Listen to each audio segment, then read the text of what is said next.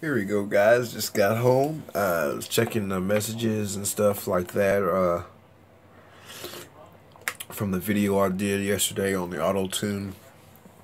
Uh, regards to to uh, Mountain Dew, uh, Derek's uh, question and uh, regards on how to do it and how to set it up. Hopefully, somebody can help me out or help somebody else out later on down the line. But sorry, guys. this is basically what I did, Derek, to get to get it going and stuff like that. Hopefully, it'll help you out to understand uh, more about it. Basically, I went to uh, Cleanflight. Oh, computer's starting to reset or load up or something. But I'm gonna go ahead and uh, grab my old trusty uh, DX9 and set it up here so you be able to see what's going on and uh, and be able to understand a little bit more about it. Plugging the uh, USB port in. I am connected. Alright, basically Derek, what you will have to do, and other by other people that's out there that wanting to check this out, want to do it, is set it up. Basically what I did the first no-no is that you do not want to do uh, Lux Flux. You cannot auto-tune on Lux Flux. And that's what I did yesterday and excuse me guys. That's what I was trying to do yesterday. I was trying to auto-tune on Lux Flux and I forgot because I thought I had it switched back to a PID controller 1 which is the MultiWii rewrite, which you should be able to do it on any of the other ones too, supposedly. That's what it says in the forums I've been paying attention and reading. But anyway, you're supposed to do it in here in the rewrite, right here. PID, PID 1.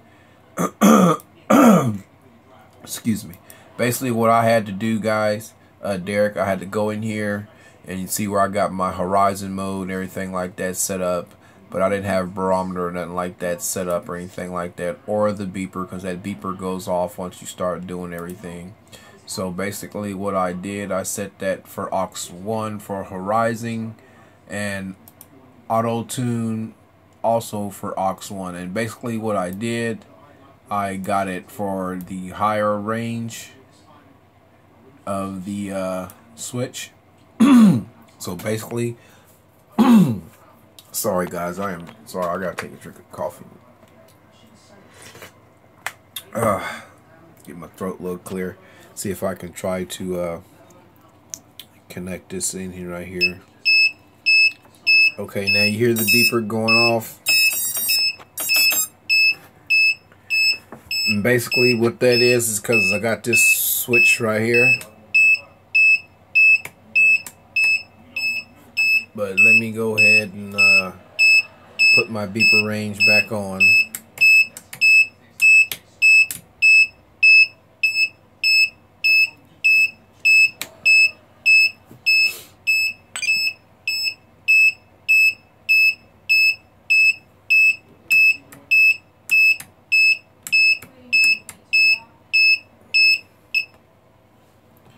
Okay, now let's start the beeping. As you guys can see right here, Derek, as I hit the switch right there, it goes. Go ahead and take this off.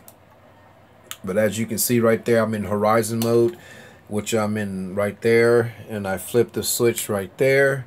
You see horizon is activated. And I'm going to scroll down and auto tune is not until you hit the third position switch right there. And it is supposed to well I didn't save it but right there it activates auto tune right there in that third position switch. As soon as I turn the switch off you see right there it automatically turned it off right there. And when I go back right here to the second position which would be idle up one that's basically what I got it set right there. And that's basically how auto tune works right there. But you see I got it turned on right there which I don't need it turned on right there. I need it turned on where it's up here to the higher value right there when I hit this the stick for the third value. That's the way I want it right there for when I hit my transmitter right there. You see it's turned off and I still have horizon mode turned on. And that is supposed to activate your auto tune right there, Derek. Basically, once you hit that switch and you get up there, it's going to slowly start do the side to side shake. And uh, you want to do it for no more than four seconds, four or five seconds. A lot of the guys, they do it for a lot more than that. That's why they craft end up crashing and doing really crazy stuff. But no more than four or five seconds, the max. And you flip that switch back off and then once you do it again, it's going to start doing the pitch, which would be jerking up and down. It's supposed to be up and down jerk and stuff like that. And you want to do it the same way. And, and once you get that done, it's supposed to be actually set up right there. And you're supposed to uh, basically yaw to the left to turn your motors off and flip the switch, which is right here, to activate horizon mode off and on one more time. That's supposed to save it. So that's one way of doing it. The other way is, is saying that you're just supposed to disconnect the battery and automatically supposed to save your settings and everything like that. And you just go from there, buddy, and test it out. So, but that's one thing you want to do. Make sure you do not have that on uh, Lux Flux because it will not work. And one of the other deals, like uh, the adjustments that I did, Derek, is I was setting my stuff up normally on my PIDs like this. And basically what I had was at the small point was P the midpoint was I and the top point up here was D. Was basically it was more like this right here is basically what you see is what I had set up so you hit one two three and basically what I had, like I say, I had that set up for the pitch for that one. It would do the pitch, the pitch and roll PIDs. then the pitch and roll in the I and the pitch and roll in the D. So basically that's what I would have to do and it's the same as you would the first one. You just move that switch to each spot like that, see where it's doing now? And that's basically what you would do right there. And this other switch, what I had right here is what I used to toggle to make my gains go up and down in the PID settings right here which you can see those gains values would go up and down once you flip the switch right here because that would act this actually turns it on when it's up in the position right there and right there is the mode to turn it off.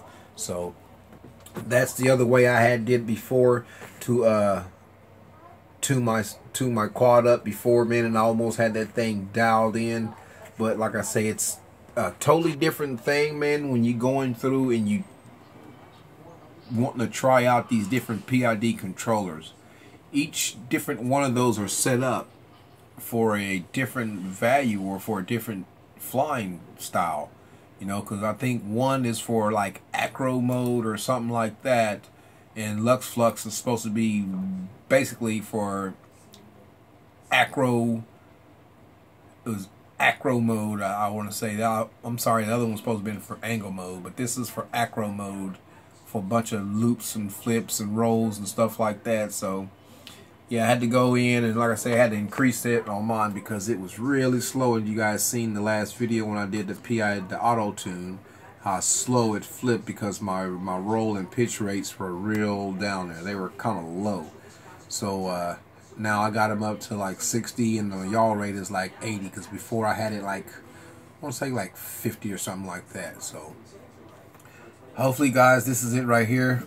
Derek hopefully I got everything that you needed to know to figure out because that was one of the things that I was scared to do is uh, after watching a lot of the guys videos I was scared to do the auto tune myself because of uh, oh let me go back in here and change all that. Because of that feature right there uh, that was one of the modes that I was scared to do. I didn't want to do the auto tune because you know it would uh, it, it scared the crap out of me because watching, like I say, watching so many people's videos and.